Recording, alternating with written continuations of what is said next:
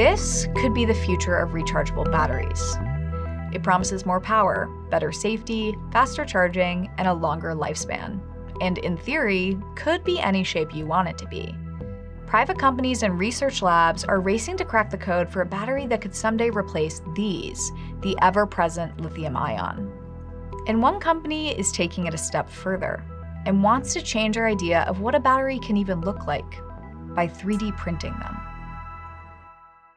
Let's take a step back and explain what a battery is. A typical battery works by converting chemical energy into electricity.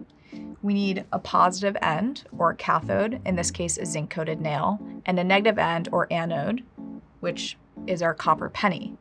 We also need something to connect these two, called the electrolyte.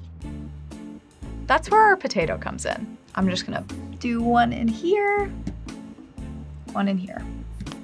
Each end reacts chemically with the potato, and the anode actually releases electrons, which travel along this wire back to the cathode. This flow of electrons is actually what's converting that chemical reaction into electricity. Now that didn't really do anything, as you can see, but if we add a few more potatoes, we'll probably get this light to work. Thank you. These clips are so hard. And now, lights please. Hey, that was pretty good.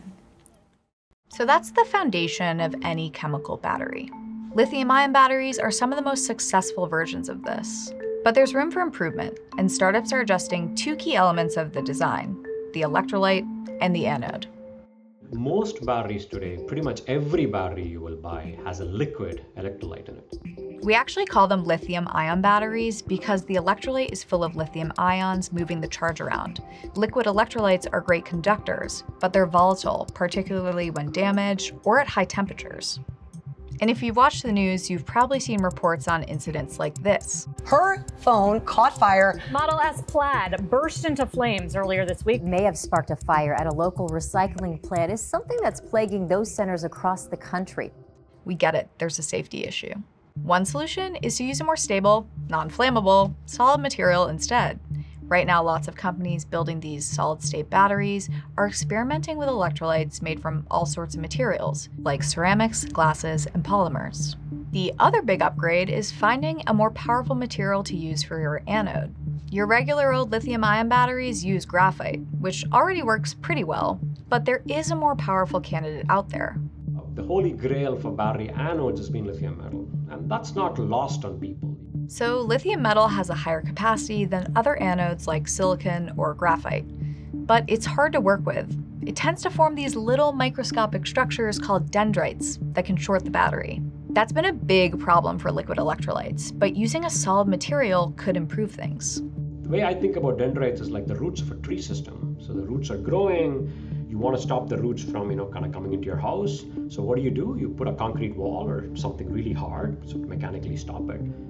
So a good solid electrolyte can stand up to those little dendrites and still allow for the easy flow of ions back and forth.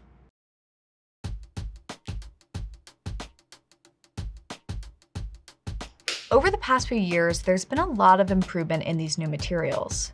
Today, leading startups are looking to get their pilot batteries out of the lab and into a factory. And one California-based company, Sakuú, is taking an even bigger swing. They're designing solid-state batteries with lithium metal anodes, and they want to 3D print them. The only way to go into this direction of having more sustainable, safer, superior batteries is to at some point in time challenge the manufacturing process. So most batteries today are made with a process called roll-to-roll -roll manufacturing. The materials are rolled out in long sheets and then cut down for individual battery layers. 3D printing, on the other hand, could let Sakuú cram more layers into the same amount of space, improving the overall capacity of the battery. So it's not like today where you have them in a pouch mm -hmm. and the battery is just inside, the layers are inside, it has to be sealed.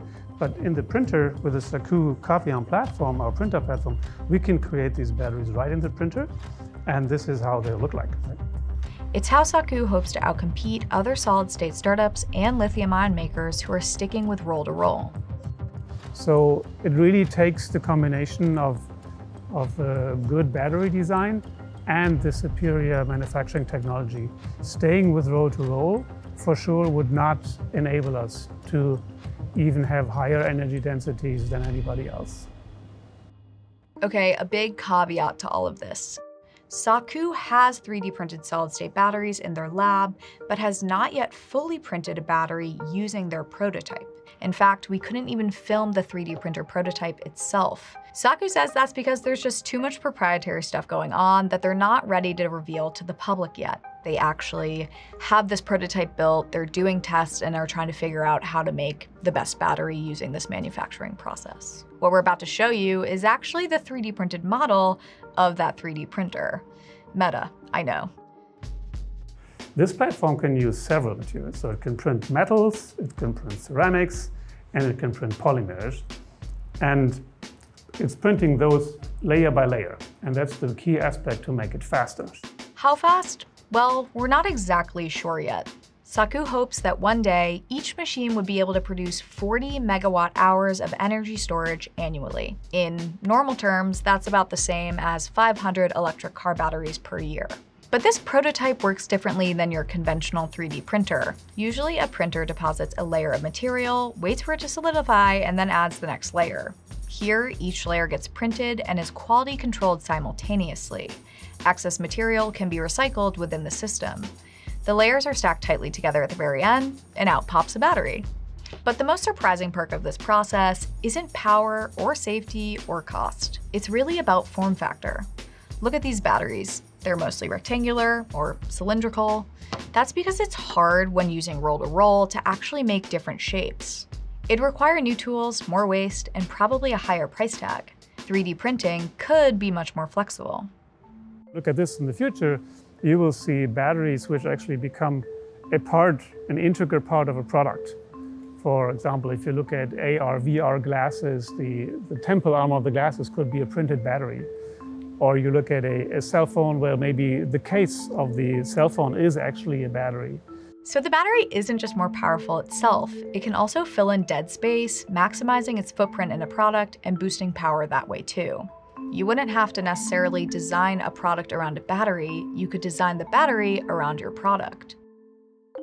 And this is obviously not the real printer. So what's the like footprint of one of these? Yeah, for this first one, the footprint uh, is around 10 meters long. This is now our first prototype, right? Total reinvention is obviously risky. The company claims that their process could reduce manufacturing costs, but they wouldn't share the actual price tag of the printer with us. On top of that, you're introducing a new manufacturing process to an established industry, and that's always going to be a challenge. And they're not the only ones taking this approach. Other companies like Blackstone Resources and Photocentric are also working on 3D printed batteries. While all this R&D has been happening, lithium-ion batteries are just getting cheaper and more powerful. That's really tough to compete with. Sakuú is currently building out its first factory and hopes to get sample batteries out to their clients in 2023. So this facility will only host our own battery manufacturing, which is of course needed to prove the process to show everybody that our technology works successfully. While startups like Sakuú are putting their first generation products to the test, the need for more advanced batteries is only growing. The goal isn't just to get a better battery into your phone, it's increasing range for electric vehicles and large scale storage for a decarbonized energy grid. But to take on the world of lithium ion, newcomers can't just be a little better which means that what we have to do to get this material to be commercial is we've got to make them perfect. Because if it's not perfect, they become a significant challenge when it comes to trying to make this into a battery that will stand the test of time and power all the things we want to power. That one's there.